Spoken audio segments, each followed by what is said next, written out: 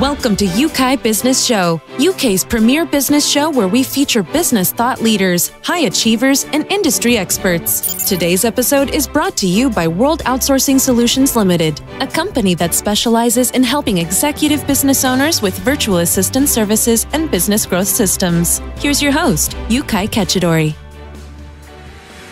Hi, and welcome back to Yeukai Business Show. Today, if you are one great business owner, you know or you face one of the tremendous fears that can potentially stop you from doing what you want to do. It may be the fear of unknown or the fear of failure or any other fear. Today, my guest is an expert when it comes to breaking through fears and achieving your goal, and that is Lynda West. Lynda, thank you so much for joining us here on the show. Thank you. I'm pleased to be here. Thanks for having me incredible. Now, Lynda West is regarded by so many people as the Oprah of San Diego.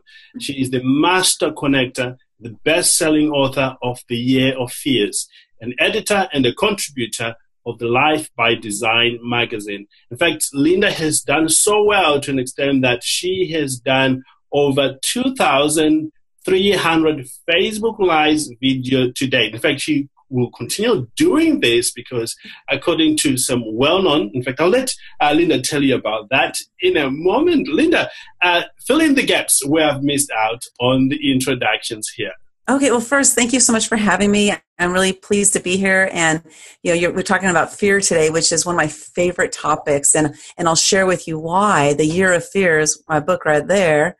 The yeah. Year of Fears, how that came about. Um, so I actually grew up in a very abusive alcoholic household. Right. And what I discovered much later in life is that that pinned me down and it prevented me from wanting to do a lot of things because I had a lot of fear in the household. And so those fearful feelings that I experienced when I was a child, I carried those into my adult life. I ended up marrying somebody just like my dad who on a daily basis told me I was stupid and ignorant and that people were only kind to me because they felt sorry for me. So that might not sound so bad, but it is bad because what happened is my mind believed it. I believed that I was stupid. And because I believed that I was stupid, I never wanted to speak to people because what if I say something that's going to be stupid and they're not going to like me? So I had this fear. What was my fear? My fear was of judgment, which many of us have the fear of judgment. Indeed. So we will fast forward when I was 51 years old, after working 49 different jobs. yes, 49 different jobs. I realized that my life was not fulfilled and I was here doing nothing, nothing important. And so I had this epiphany that I need to figure out why I was placed here on this earth. Why am I here? And I hired a life coach. Beautiful. And in five months' time, from the first moment I hired that life coach to five months later, I realized that I needed to quit my job. And so I did.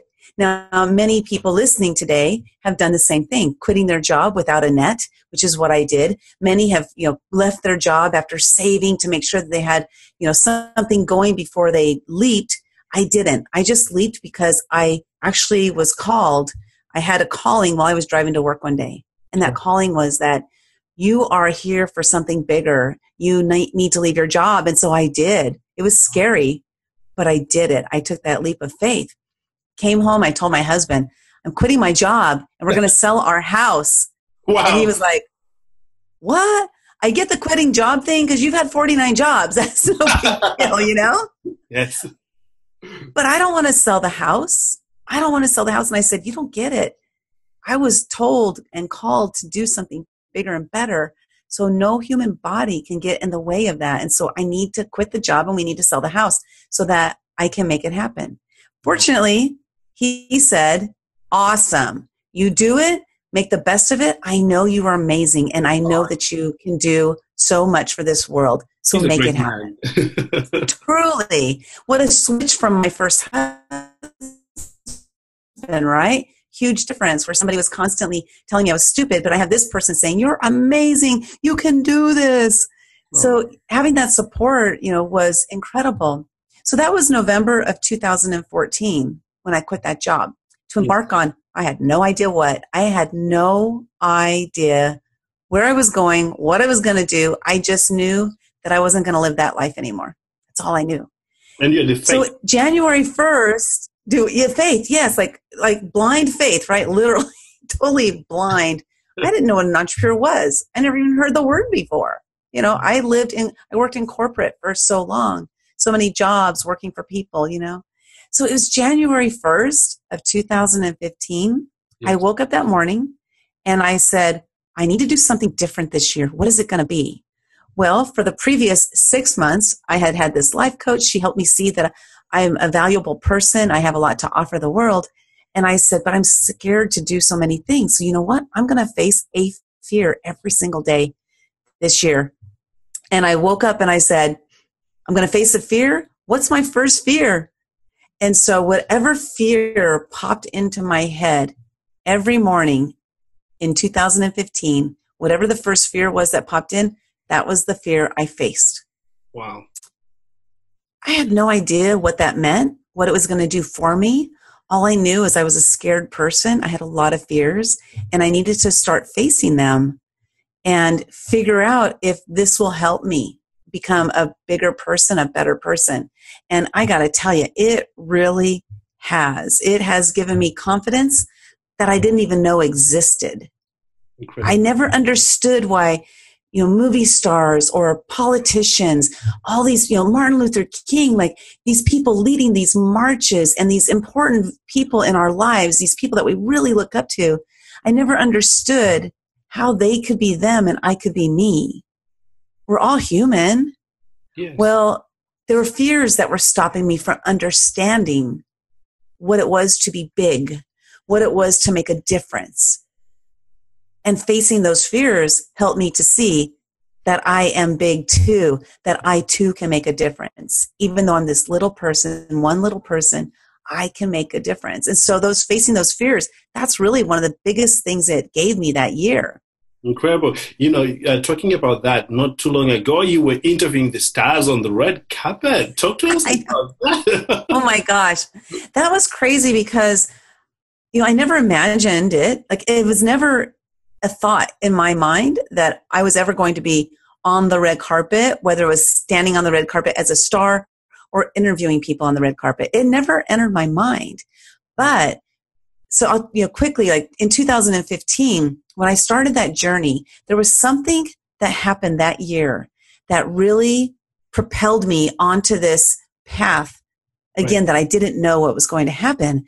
But what happened was I attended a vision board event and it was in January of 2015, probably about January 15th or so. I attended this vision board event, which I didn't even want to go to, but my life coach said, Hey, I'm going to this vision board event. You should go with me.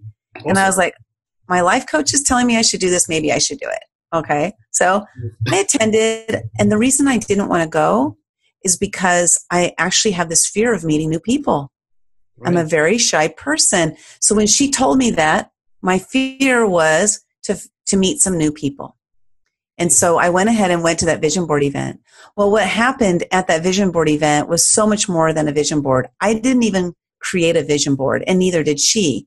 There were speakers speaking at the event, and listening to those speakers is what started to open my mind to hearing new possibilities. There was a gentleman there that spoke, and he has um, no arms, but he has not, not prosthetics, but he also has um, like hooks at the end for his hands. Yes. And he spoke, and his story was so incredible that listening to him, I was like, wow, if he can do what he's doing, wow. maybe there's something more for me. And then the keynote speaker got up to speak. His name is a gentleman you know, Greg Reid. Oh, yes. yes. So, Greg Reid got up to speak and he talked about possibilities. He talked about stickability. He talked about so many different topics that as I was listening to him, I was just soaking in all this information about life and what there is for us out there that I didn't even know about. And so when he got done speaking, he had invited people to attend his event, which is called Secret Knock. Yes. Well, the price tag for Secret Knock was very high. and I was like, oh man, I'd love to attend, but I can't afford it. I can't afford it. I can't afford it. And my life coach, she looked at me and she said, Lynda, you have to go to that event.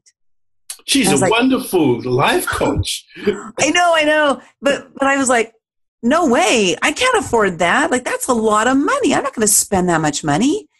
And she goes, you have to go. She goes, I think I might be able to get you a discounted ticket.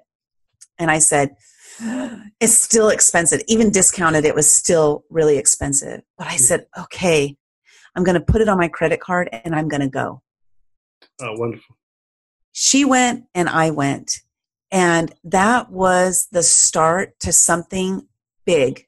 That was the connection that I needed to say, I belong with these huge life changing people, these game changers. They're, you know, in attendance are, you know, founders of huge organizations, like the founder of the Make a Wish Foundation, you know, attends this event. And I ended up becoming a good friend of his.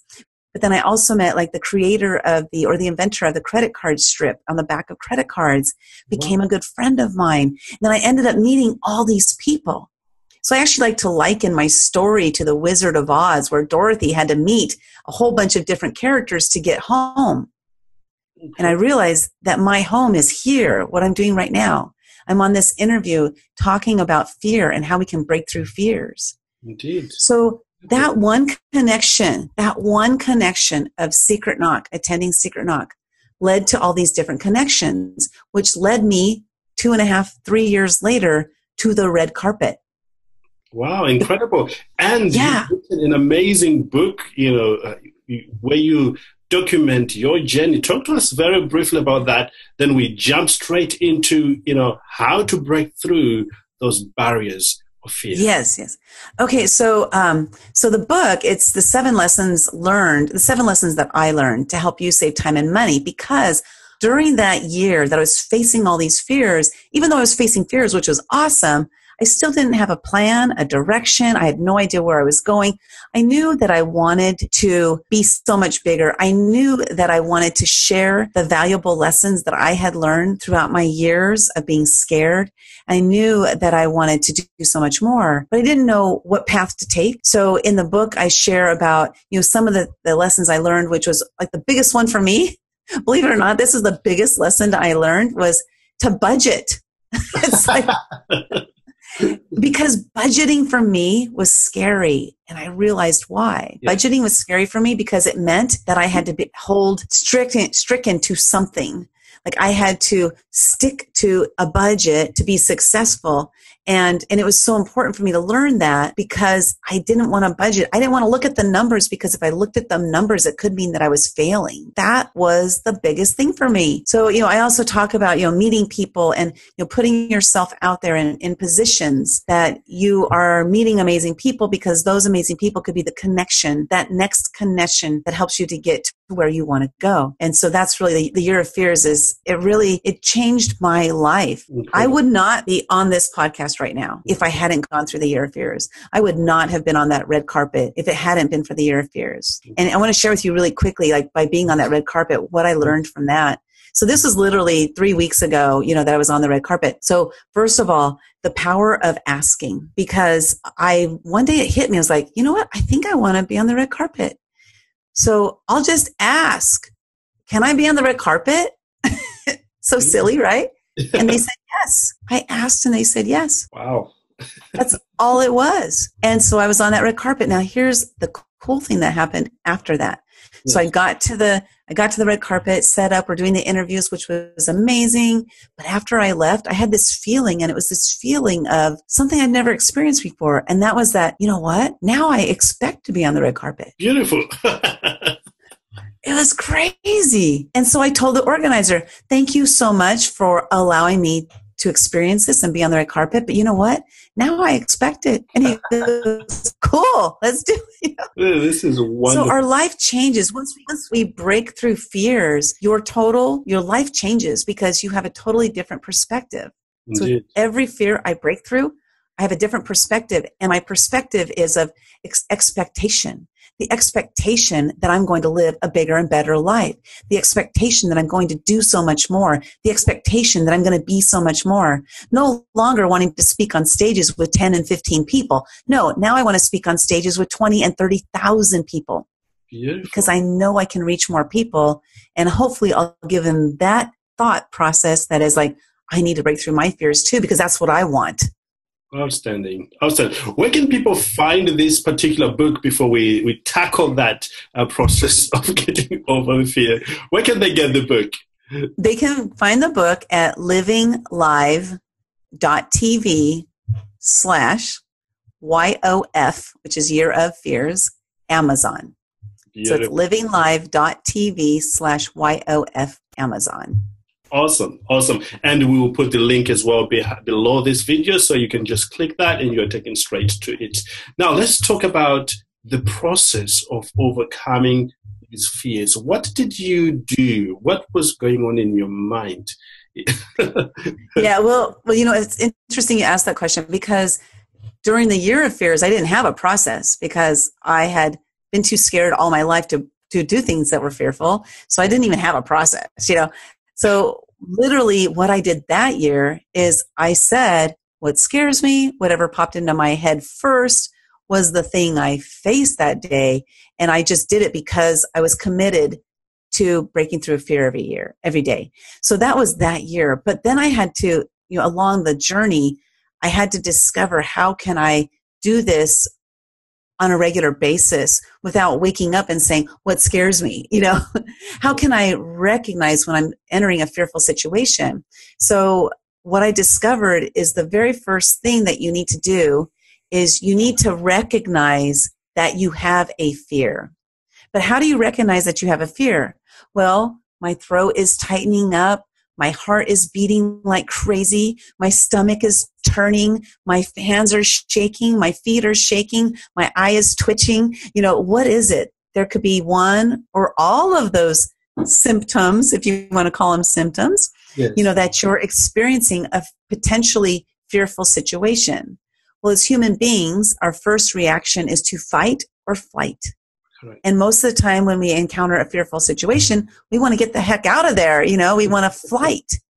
So how do you then recognize that it is a fear and then take that next step? Well, first, once you recognize that it's a fear, and I'm going to share with you quickly a story of something that I was experiencing a fearful situation, but I didn't recognize that it was fear. So um, one day, some of my friends decided they're going to do a bikini contest Yes. And they're all saying, "Hey, we're going to do this bikini contest. Do you want to do it?" And I go, "No, I'm not interested. Yes. I'm not interested." So then the next week they said, "Hey, we're doing that bikini contest. We're getting ready to sign up. Do you want to do it?" I go, "No, no, that's not something for me. That's not for me." So the next week they asked me again, "Do you want to do the bikini contest?" And I said, "Why do I keep saying no? Why do I keep saying no? Of course, I'm not interested, but why am I not interested? Why is that not for me? Why are those the words I chose? And I realized that, oh my God, it's because I'm scared. I'm scared to get on the stage in a bikini and be judged by people. Because I know I'm going to be judged by people. I'm you can't tell here, but I'm I'm pretty overweight. All my weight is down in the lower lower basement, you know? Yes. So you can't tell that I'm like, I'm pretty overweight right now. And so the fear was like, wow, I'm going to be judged. And then I said, ah, I'm scared. That's why I'm saying no. I'm going to do it because I'm scared. wow. And am I still scared? Yes. But I'm going to do it. And as I walk onto that stage, am I going to be scared? Yes. But I'm going to do it because I'm scared. So when you change your mindset to I'm doing something because I'm scared, it puts you in a whole new world of possibilities, of endless possibilities. Incredible. Absolutely incredible. You do it anyway. And and here's the thing, I realize that I've actually won the bikini contest already because I'm doing it because I'm scared.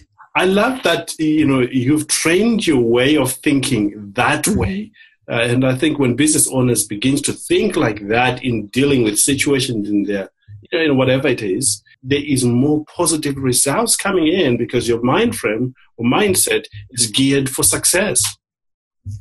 Exactly. And like I said, I've already won, right? I've already won the contest. So now I'm not I'm not as scared I'm not scared about a competition because I've already won the competition.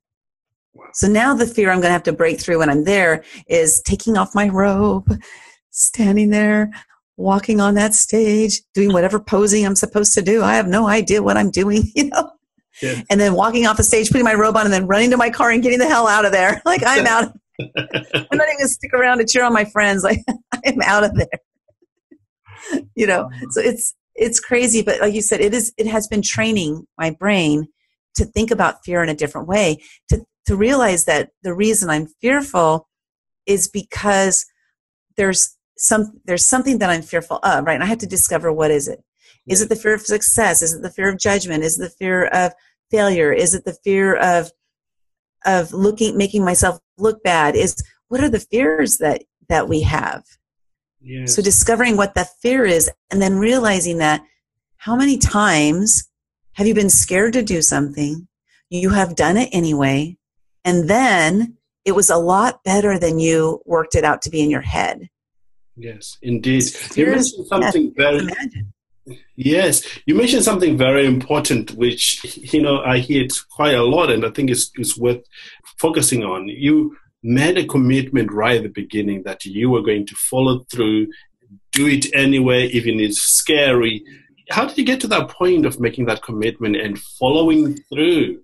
Oh, that's a great question because I, which that's a very interesting question because I'm I'm a lot like my dad in that my dad never finished any projects. Right. My mom, my mom finished every single project my dad ever started. And I'm a lot like that. Well, I was a lot like that, I should say, you know, reframing. I, I used to be a lot like that. And about, I think it was probably 2013, I decided that for a year, I'm going to do something. In yeah. 2014, for a year, I was going to do something. Just like every single day, I was going to do something. I didn't know what it, I don't remember what they were because they weren't as impactful in my life as facing a fear every day was. So in 2015, it was like, okay, 2013, I did this, 2014, I did that. What am I going to do in 2015? And so that's what it was. It just happened to be fear. And I do, I've learned that because I have, you know, that, that dad gene that's like quitting and giving up on so many things yeah. that I need to be committed to something. And so I'm able to, to force myself to be committed hmm. to something, you know, for one year. like I commit for one year. Incredible. Absolutely. It's hard. It's hard. It's it is not easy at all. But but I just remain committed committed. You know, what future do you want for yourself? And you decide and then you tackle something that's gonna maybe it's only a week. I'm gonna tackle it for a week. Yeah. You know, put a time frame on it and do it. Incredible, incredible. As we come toward the end of our time here together, uh, Lynda, where can people find you or connect with you should they want to progress, you know, learning from you on many subjects because you teach other subjects as well. Yeah, well, I um, I have a website, livinglive.tv, but then I'm also on Facebook. I'm big on Facebook. I'm on Instagram, but I don't really get it. I don't understand why, like what you do there. But I'm on Instagram too. And my Facebook and Instagram are livinglive.tv. Yes. And what I'd like to offer is a free gift today. Um, you know, one of the things you mentioned in in the introduction is that I've done over 2,300 Facebook Live videos. There's actually a story behind that, and I don't know if we have time for that, um, but I can tell you the story later. And the story behind that, and the reason why I'm doing all those videos, is an amazing story, and and it really was one of the things that helped me start breaking through a lot of my fears as well. But because I've done so many videos, I realized that you know I want to help other people do videos. I've helped over 350 people do their very first Facebook Live video. I've helped over 55 people so far um, step on the stage for the very first time and speak in front of an audience, just helping people break through their fears. So, what I'd like to offer your audience is a free video content planner. And the biggest fear that people have for doing live videos is I don't know what to talk about. What am I going to talk about? What am I going to say? So this video content planner is going to help you through all that. Is going to help you find the topics that you want to talk about when you go on a video. And so to get that, you go to livinglive.tv slash VCP, which is video content planner. So livinglive.tv slash VCP. And check it out you know use it and and start doing those videos. And i was sharing with you earlier that um, by 2019 they project that 85% of marketing will be done by live video. So you better start now. Start now. Absolutely, absolutely. Well, we never like to finish without asking our audience, our guests like yourself, to talk about maybe one thing that you wish you knew when you were starting your journey that has made a huge impact, uh, maybe in your business or in your life. Maybe share that with our audience or give some tips around that. The biggest thing, and this is actually just you know the lesson I learned just recently, was to ask and like we hear that all the time you know ask and you shall receive uh, we hear to ask but a lot of times people like when when i grew up i was taught not to ask and so i was scared to ask so that one big lesson right there is you know starting my journey if i had learned how to ask without feeling guilt because I felt I used to feel guilt when I would ask for help or whatever. But it's it's not only asking for help, but asking for what you want. You know, what do you want? What do you want? Who do you want to help in your business? Well, find those people and go ask them for help. Like, what is it that you want me to deliver to you? You know, or just just asking. The power of asking. It has. Oh man, you know, just to be on your podcast. I actually asked, "Can I be on your podcast?" I would not have done that four months ago. Wow. And just the power of asking is what got me on the red carpet. Incredible. Lynda, you are such an incredible person. You accomplished so much in a very short space of time as well. You know, the amount of people you're helping out, you know, over 300 people do things and over 55 people getting on the speaking arena incredible mm-hmm. contribution to the business world. We really appreciate what you're doing, and we want to Thank wish you. success and more great moments in life uh, as you continue doing that. In fact, I'm going to put you on the spot right now. Any okay. chance you come back on the show sometimes? sure, I'd love to. I'd be honored. Incredible. As you can tell, I like to talk about these topics because they literally changed my life. I mean, I used to I would go to networking events and I would sit in the back of the room and I used to be scared when they would come around and ask people your name. I didn't even want to say my name in public because what if I what if I didn't say it right? what if I didn't say my own name right? You know, and now I, I walk into a room and I'm sitting in front and I'm speaking on stage and, and doing all these things. It's because of the this process I've gone through in just short, you know three short years, as you you pointed out. It's really a short period of time. It is, indeed. and love to talk about it and help if i can help people do the same kind of thing by breaking through their fears? Mm-hmm. Man i'm in. I am in. Incredible. Well we certainly love to have you here in the uk you know help business owners here and see what we can do together. Again thank you so much for that Thank you. I love it. Thanks for having me. You're welcome. Now, if you got uh, any questions, please click the link below. Lynda may be able to respond to those questions, uh, or you'll be, taken straight to her website and will be answering some of your questions, or just uh, you know access the content that you, you we're grateful have received from Lynda here, and that information will help you uh, certainly. And once again, thank you so much for joining us. And in case you need any virtual assistant help, uh, you know where to find us. Just click the link below and and you get access to the virtual assistant. With that said, have a great day, everyone, and we want to wish you a successful business venture. Thank you very much, and goodbye. Bye bye. Thank you for listening to Yeukai Business Show. We will be back to bring you more episodes with success stories and advice straight from the experts. Want more? Check out www.ukaibusinessshow.com. Get your free trial of our virtual assistant service today. Just visit www.worldoutsourcingsolutions.com. Quote WOS18 or send us an email at support at worldoutsourcingsolutions.com.